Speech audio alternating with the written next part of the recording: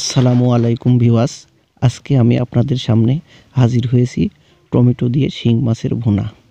অত্যন্ত মজার একটি রেসিপি এই রেসিপি যদি ভালো লাগে, একটা লাইক দেবেন। তাহলে চলুন শুরু করি আজকের রেসিপি এখানে আমি তিনটা টমেটো ছোট ছোট করে কেটে নিয়েছি।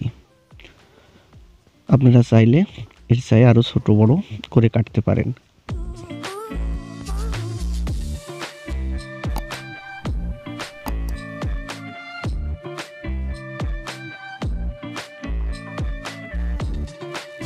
এগুলো আমি একটা বাটিতে তুলে নিয়ে আমি মাঝারি সাইজ তিনটা পেঁয়াজ কেটে নেব।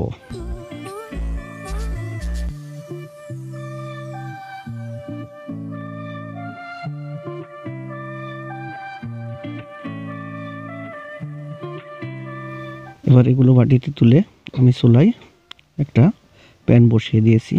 দিয়ে দিব প্যানটা গরম হলে তিন টেবিল চামচ তেল।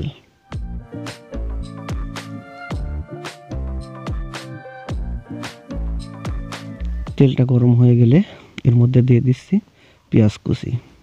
পেঁয়াজটা আমি নেড়ে চেড়ে সিদ্ধ করে নেব।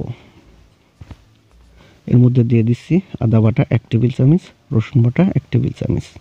আদা রসুনটা আমি ভালোভাবে ভাজবো, সেই সাথে আমি অন্য অন্য মশলা অ্যাড করব। দিয়ে দিলাম জিরা, ধনিয়া বাটা এক টেবিল চামচ।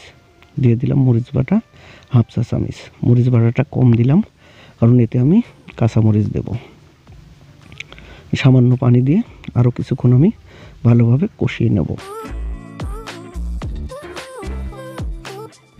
এর মধ্যে এখন দিয়ে দিচ্ছি তিন চারটা কাঁচামরিচ মাঝখান থেকে ভেঙে। এভাবেই আপনারা যদি রান্না করেন, অত্যন্ত মজা হয়। দিয়ে দিলাম স্বাদ মতো লবণ। এখানে আমি কিছু শিং মাছ কেটে ধুয়ে পরিষ্কার করে নিয়েছি। এখন মাছটা আমি মশলার সাথে ভালোভাবে কষিয়ে নেব।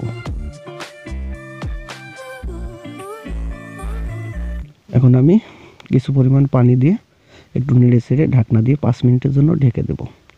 পাঁচ মিনিট পর একটু নেড়ে ছেড়ে আমি চুলা থেকে মাছগুলো ঝোল রেখে নামিয়ে নেব।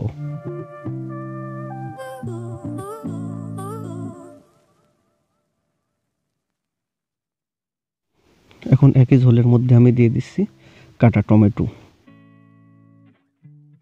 টমেটোটা ঝোলের সাথে নেড়ে ছেড়ে ঢাকনা দিয়ে আমি আর পাঁচ মিনিটের জন্য ঢেকে দিলাম।